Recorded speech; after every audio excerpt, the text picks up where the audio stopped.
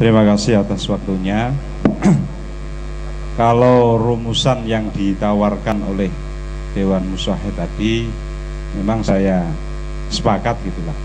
Sebab hakut tazwid itu adalah hak lil ab awil jad dan seterusnya hakul wali. Bahkan hakul ijbar itu juga hakul ab wal jad atau wali al al akrob kan begitu. Nah, yang jadi pertanyaan yang kami pandang ini sekedar pandangan saja. Secara hukum asal kami terima bahwa hakut tazwid itu adalah al-ab sehingga pemerintah tidak punya wewenang. Terbukti hakul ijbar juga hakul ab. Akan tetapi dalam ibarat dalam Sarhun Nawawi di sana dikatakan halaman halaman, halaman juz atas halaman 206 Wa'lam anna syafi'iyah Dalam pendapat as-syafi'i dikatakan Wa yustahabu alla yuzawwija Al-aba wal jad al-bikro Alla yuzawwija al-abu wal jad al-bikro hatta tabluwa Kemudian ketika dikaitkan dengan hadis dalam Aisyah Seolah-olah pendapat as-syafi'i itu adalah mukhalifun akan tetapi ternyata dijawab li anna muradahum annahu la yuzawwijaha qoblal buluhi idza lam takun maslahatun dhahiratun.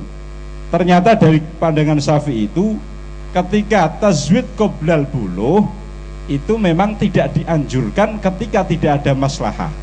Berarti ketika ba'dal buluh itu maslahah maslahah dhahirah itu akan muncul kan begitu. Nah sehingga ketika kita kembalikan dengan apa pendapat dari pemerintah ini berarti usia yang seperti itu kalau kita pandang secara fikih itu sudah masuk pada usia balik. Masuk dalam usia usia balik kan begitu. Sehingga masalah itu akan timbul di saat usia-usia seperti itu menurut pandangan pemerintah begitu.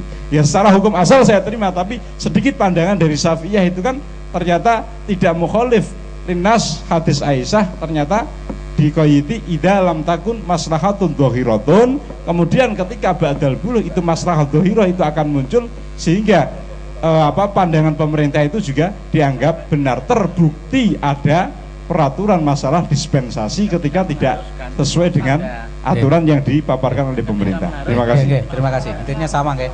Assalamualaikum warahmatullahi wabarakatuh.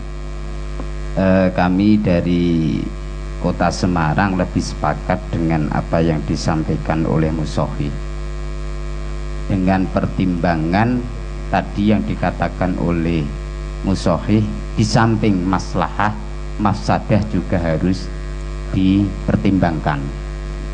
Kebetulan kami adalah pegawai di kantor urusan agama. Kami penghulu. Dan kami menangani pernikahan ini kurang lebih sudah enam tahun.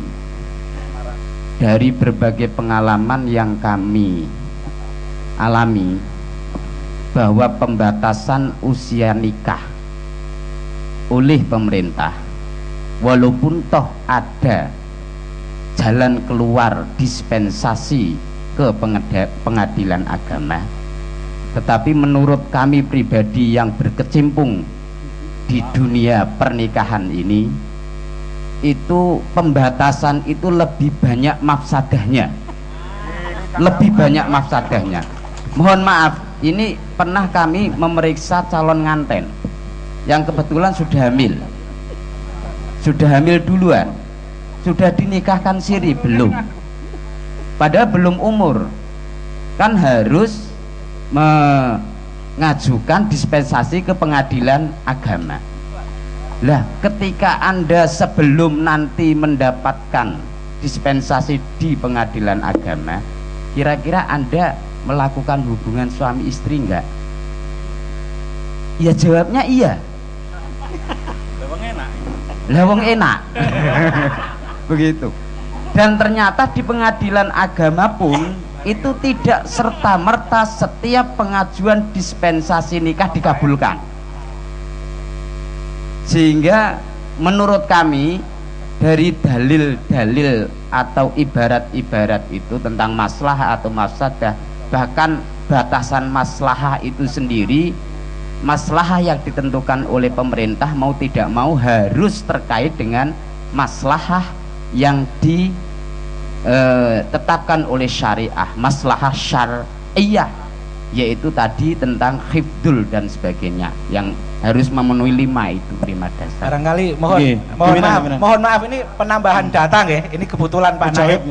Ini itu pandangan harus dilihat dengan kacamata pemerintah jangan apa individual maslahat yang dilihat pemerintah itu memandang secara umum bahwa pendidikan secara umum ini, ya. ini adalah sebuah hajat doruria pimpinan eh, ini moderator moderator. Itu mujahid dari Temanggung ini. Magelang sendiri.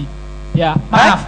Mage, itu Temanggung ini Magelang jadi beda. Oke moga moga Magelang. Coba ya Magelang, dalam uh, kitabnya Dr. Wahbah Zuhaili itu disebutkan bahwasanya masalah taswiyatus sogir dan pembatasan masalah pernikahan itu ada hilaf bainal ulama di mana yang memperbolehkan dengan ibarat-ibarat yang salah satunya berdasarkan nas hadis pernikahan Rasul Rasulullah.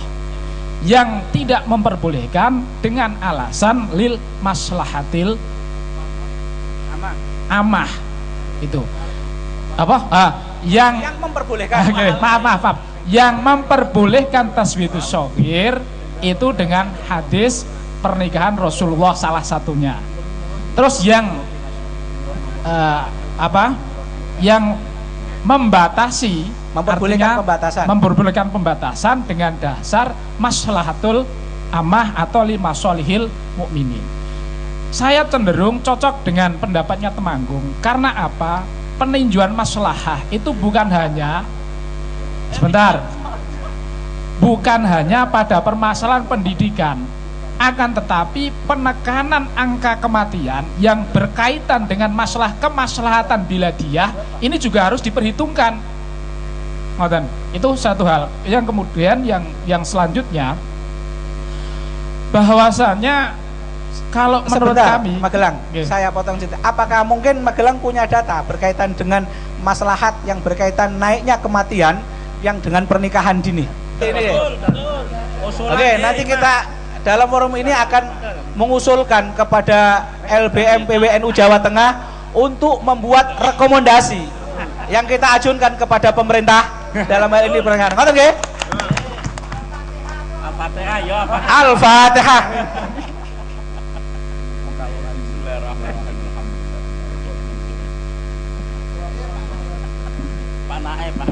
Romo Kiai yang kaulah hormati uh, dengan demikian maka otomatis uh, batal juga. Artinya otomatis juga tidak boleh kenaikan pembatasan nggih.